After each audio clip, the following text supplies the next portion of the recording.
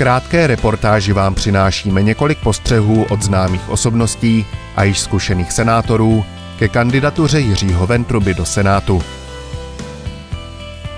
Proč je vůbec Senát důležitý?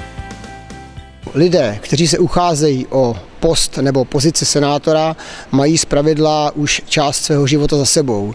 Ten život bývá úspěšný, bývá naplněný zpravidla dobrými skutky a úspěchy a mají také poměrně hodně zkušeností.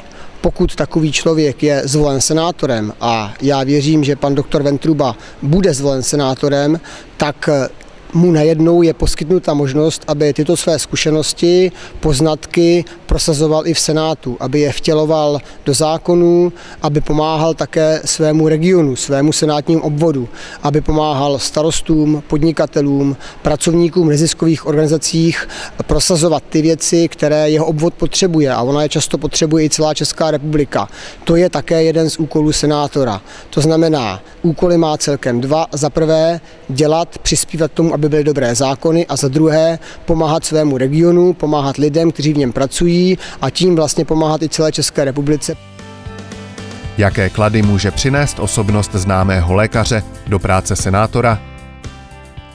Lékař jako takový je, je konzervativní člověk a, a pro něj je i ta svoboda a to všechno jasným důkazem, že to uměl dělat v medicíně a uměl zachraňovat pacienty a kolega neurochirurg, který v daném okamžiku kandiduje, tak je příkladem toho, že on tak jako se choval v medicíně k pacientům, tak se bude chovat v politice k občanům. Jaké názory chce Jiří Ventruba v Senátu prosazovat?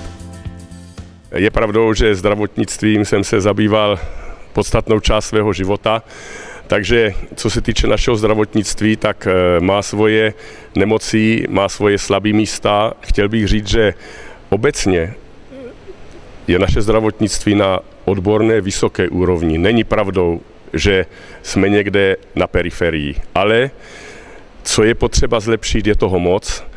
A já bych eh, doporučil, aby jsme zlepšili jednak dostupnost té zdravotní péče, aby jsme si kvalitu udrželi a zlepšovali, aby jsme zlepšili výuku a celý systém vzdělávání lékařů i zdravotních sester. Já sám mám eh, čtyři děti, mám tři chlapce, jednu dcerku, dva jsou už dospělí, jeden je oční lékař, druhý je IT specialista a pak dva menší. Jeden devátá třída a nejmladší dcerka chodí do tercie na gymnázium. A já bych chtěl, aby společnost vůbec mladým umožnila takové podmínky, aby mohli zakládat rodiny, chtěli zakládat rodiny a aby o ty mladé rodiny s dětma bylo postaraný nejenom po stránce finanční, ale i co se týče zázemí, myslím ti tím předškolní, eh, ať už jesle nebo mateřskou školu, aby se třeba pro ty, kteří jsou ochotní eh, nejenom pracovat sami na sobě nebo věnovat se jenom jako své osobě, těm, kteří jsou ochotní založit rodinu, mít děti, vychovat děti, věnovat se dětem, což stojí nemalé nejenom úsilí, ale i finance, aby se třeba udělali nějaké speciální daňové úlevy, aby ty rodiny to poznali. Myslím si, že konzervativní hodnoty, které my vyznáváme, naši kandidáti rovněž vyznávají a na tom by měla být postavena i politika v České republice.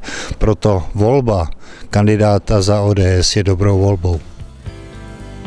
Volte rozumem a podpořte kandidáta do Senátu Jiřího Ventrubu.